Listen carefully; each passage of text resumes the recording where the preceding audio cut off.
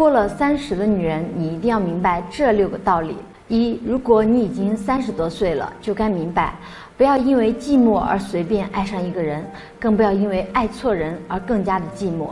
女人最大的幸福是找到一个懂自己的人，如果没有，那请你自己爱护好自己。二。生活很艰辛，但是无论怎么样，你都要爱护好自己，不要整天忙着工作。你付出了那么多，就该得到相应的爱和幸福。生活的质量完全取决于自己的心态。如果家长里短、闲言碎语让你心累，不妨找四五个知己拉拉家常。三，好朋友是相互欣赏的，而不是相互利用的。很多时候，友情比爱情更加重要。在自己失恋或者婚姻受挫的日子里，往往好朋友陪你度过这些不堪的岁月。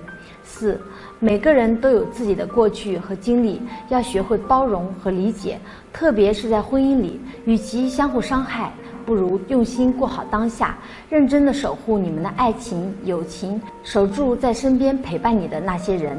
五，婚姻总归是要走向平淡的，不要总是想着自己要有怎样的一段婚姻，自己的男人应该怎样的爱自己，等到别人来爱自己，不然主动的去爱别人。婚姻不是一个人的享受，而是两个人的狂欢。六。女人的一生没有几个三十岁，要学会经营好自己。面对很多事情，我们都没有再次选择的机会，所以做什么事都该好好的把握机会。对待感情要专一，对待婚姻要坚守，对待事业要用心。女人在三十岁的时候，也是人生一个小高峰时期，应该好好的把握住。